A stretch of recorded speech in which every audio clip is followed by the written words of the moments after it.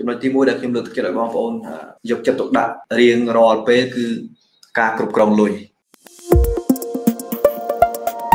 បាទចំណុចទី1គឺខ្ញុំលើកទឹកចិត្តឲ្យបងប្អូនយើងកណនាគុណគូតើនៅក្នុងមួយខែបងប្អូនចំណាយសម្រាប់ការហូបចុកការប្រើប្រាស់ទឹកភ្លើងឬក៏ការបង់ធនាគារកូនរៀនសម្លៀកបំពាក់ការសិក្សារៀនសូត្រតើក្នុងមួយខែបងប្អូនចំណាយប្រមាណឧទាហរណ៍ដូចជាបងប្រុសម្នាក់គាត់ចូលកម្មវិធីរបស់ខ្ញុំក្នុងមួយខែគាត់ ចំណាយអស់ខ្ទង់ប្រហែលជា1700នៅខណៈដែលគាត់រកបានខ្ទង់ប្រហែលជាជិត3000អញ្ចឹងឥឡូវនេះគាត់បានធ្វើការពិនិត្យឡើងវិញ នៅខ្ទង់ចំណាយរបស់គាត់គាត់ត្រៀមបាទជំហានទី2បន្ទាប់ពីបងប្អូនដឹងថាក្នុងមួយខែបងប្អូនចំណាយអស់ប្រមាណត្រៀម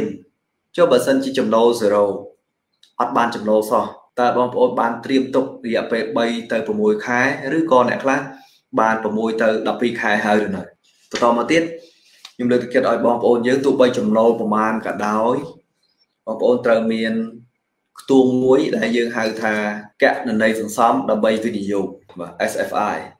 saving for investment អ្នកខ្លះគ្រាន់តែប្រើពាក្យថាសន្សំបាទសម្រាប់ខ្ញុំខ្ញុំវិភាគមើលឃើញថាអ្នកដែលសន្សំសន្សំសន្សំ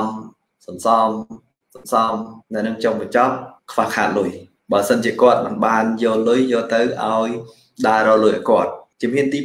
2បាទខ្ញុំលើកទឹកចិត្តឲ្យបងប្អូនយើងចាប់អារម្មណ៍មើលឃើញយកចិត្តទុកដាក់លើការអប់រំការអភិវឌ្ឍសមត្ថភាពចំណេះដឹងផ្នែកហិរញ្ញវត្ថុបញ្ញាផ្នែកហិរញ្ញវត្ថុកន្លែងនេះសំខាន់មែនទែនហើយខ្ញុំលើកទឹកចិត្តឲ្យបងប្អូនយើងបាទស្វែងរកឱកាសដើម្បីចូលរួមកម្មវិធី Cashflow Pro មូលហេតុដែលខ្ញុំនិយាយកម្មវិធី Cashflow Pro ម្ដងហើយម្ដងទៀតនេះគឺជាបេសកកម្មមួយដើម្បីចូលរួមចំណែកនៅក្នុងការសាបព្រោះចំណេះដឹងផ្នែកហិរញ្ញវត្ថុជួយចូលរួមដោះស្រាយនៅដំណើរផ្លូវ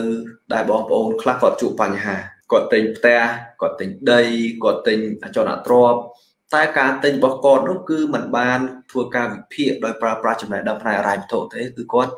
ទិញដោយសារការប្រើប្រាស់អារម្មណ៍ទិញដោយសារការជឿជាក់ការរាប់អាន តែការជួយនោះខ្ញុំលើកទឹកចិត្តឲ្យជាការជួយមួយដែលជួយឲ្យខ្លួនឯងផងជួយឲ្យមិត្តភ័ក្តិមានអារម្មណ៍ល្អផងចុះបើសិនតែត្រូវការលុយហានិភ័យធំបំផុតរបស់អចលនទ្រព្យគឺ liquidity ឧទាហរណ៍បើសិនជាបងប្អូនមានមាសមួយដុំហើយបងប្អូនចង់បានជាលុយវិញតើបងប្អូនប្រើប្រាស់ពេលវេលាប្រមាណតែអចលនទ្រព្យនៅពេលដែលណាម្នាក់ទិញខុសអត់បានធ្វើការពិចារណាអត់បានធ្វើការឆ្លុះបញ្ចាំងប្រើប្រាស់ចំណេះដឹងផ្នែករ៉ៃថូដើម្បីធ្វើការសម្រេចចិត្ត គាត់ប្រើប្រាស់ពេលវេលាប្រហែលម៉ោងប្រហែលថ្ងៃប្រហែលខែប្រហែលឆ្នាំបាទដើម្បីផ្លាស់ប្ដូរពីទ្រពរបស់គាត់ពីអចលនទ្រព្យរបស់គាត់ឲ្យក្លាយជាលុយហើយបន្តមកទៀតខ្ញុំលើកទឹកចិត្តឲ្យបងប្អូនយើងបដោតលើការទទួលបាននៅព័ត៌មានផ្នែកហិរញ្ញវត្ថុតើព័ត៌មានផ្នែកហិរញ្ញវត្ថុខុសជាមួយនឹងព័ត៌មានទូទៅយ៉ាងម៉េចព័ត៌មានទូទៅឧទាហរណ៍ដូចជាព័ត៌មានអ្នកនេះមានបញ្ហាចេះមានបញ្ហាអញ្ចឹងបាទព័ត៌មានទាំងអស់ហ្នឹងវាអត់សូវមានប្រយោជន៍សម្រាប់យើងធ្វើសេចក្តីសម្រេចចិត្តនៅក្នុងការ វិនិយោគដើម្បីឲ្យកើនទ្រព្យទេចឹងចំណេះដឹងទាំងអស់ហ្នឹងការធ្វើទាំងអស់ហ្នឹងបងប្អូនអាចរៀនបាននៅក្នុងកម្មវិធី Cashflow Pro បាទដឹងពីការវិនិយោគនៅក្នុងទីផ្សារភាគហ៊ុនដឹងពីការវិនិយោគនៅក្នុងអចលនទ្រព្យដឹងពីការចាប់ផ្ដើមអាជីវកម្មអីទាំងអស់ហ្នឹងអញ្ចឹងខ្ញុំលើកទឹកចិត្តឲ្យបងប្អូនយើងបាទស្វែងរកឱកាសដើម្បីចូលរួមកម្មវិធី Cashflow Pro បន្តសម្លៀងហាត់ពុតលុតដំចំណេះដឹងផ្នែកហិរញ្ញវត្ថុហើយបន្តមកទៀតខ្ញុំលើកទឹកចិត្តឲ្យបងប្អូនយើងមាននៅ Mastermind ចាប់ដើមចេញពីក្រុមគ្រួសារ ស្វាមីភរិយាកូនត្រូវអាសាពិភាក្សាគ្នាតទៅរឿងលុយសម័យមើលបើសិនជាបងប្អូនយើង បានចូលរួមកម្មវិធី Cashflow Pro ម្ដងហើយម្ដងទៀតម្ដងម្ដងទៀតមាន Mastermind នៅក្នុងក្រុមគ្រួសារអ្នកនៅក្នុងក្រុមគ្រួសារនិយាយភាសាតែមួយហើយយើងផ្ដល់នៅចម្លើយសម្រាប់ខ្លួនឯងចម្លើយរបស់យើងគឺការការធ្វើបានការធ្វើកើត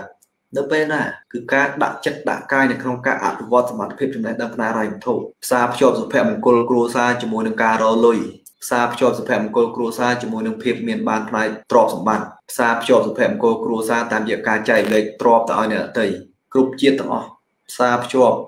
ការកសាងទ្រព្យជាមួយក្តីសុខផ្លូវចិត្តស្លាប់ទៅមិនចាំបាច់យកត្រឡប់ទៅវិញទេហើយកុំចាំដល់ថ្ងៃស្លាប់ចាំបន្សល់ទុកប្រឹងររឲ្យចែករំលែករឲ្យចែករំលែកបងប្អូនអាចចុះឈ្មោះសម្បត្តិកម្មវិធី Cashflow មកសម្បត្តិមកសម្បត្តិហ្នឹងគឺខ្ញុំអត់ឲ្យសម្រាប់ខ្លួនឯងទេមកសម្បត្តិឲ្យបងប្អូនប្រើលុយដើម្បីចុះឈ្មោះ សម្បត្តិហ្នឹងបងប្អូនយកទៅឲ្យបុគ្គលណាម្នាក់ដែលបងប្អូនស្រឡាញ់រាប់អានហើយពួកខ្ញុំឲ្យមកសម្បត្តិទៀតសម្រាប់បងប្អូនដែលជាសម័យខ្លួនដែលបានចុះឈ្មោះ